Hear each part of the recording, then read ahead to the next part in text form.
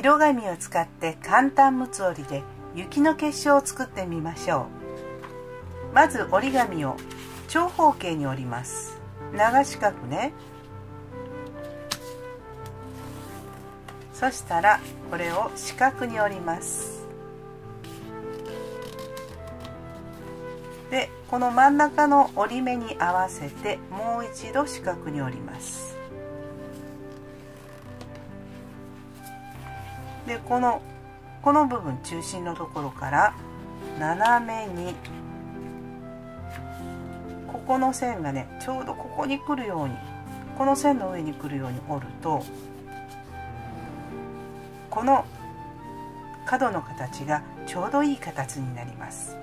どうちょうどいいかというとこれを開いて裏返してこの線にここを合わしております。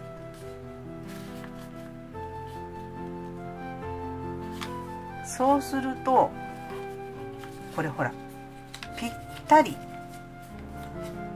六つ折りができます。雪の結晶を作る場合はこれをさらに半分に折ります。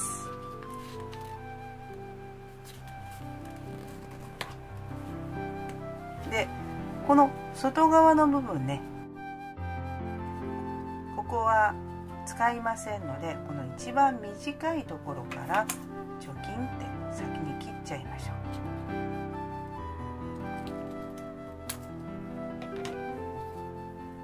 これで雪の結晶を作っていきます。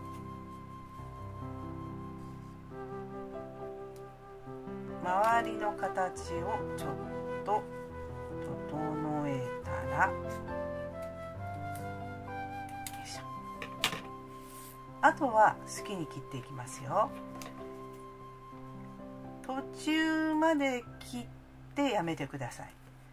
で途中まで切って今切ったところを切り離しましょう。切り込みを入れただけでは模様にならないので気をつけてください。切り込みを入れたら必ず反対から切り落としていってください。切れました。もうちょっとこの辺いけますね。切り落とさないように気をつけて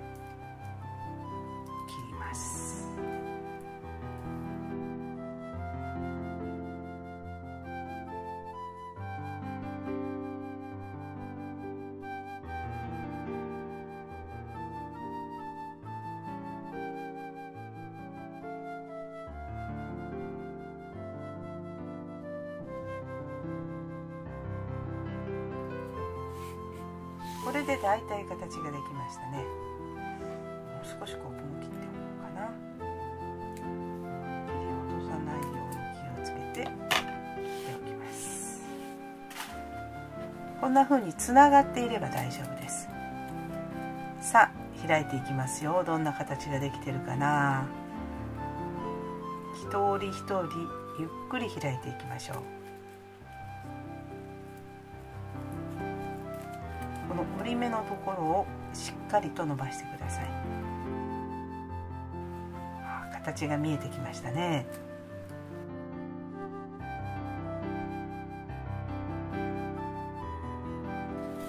はいこんな形になりました。雪の結晶っぽいですね。切るたびに形が変わってきます。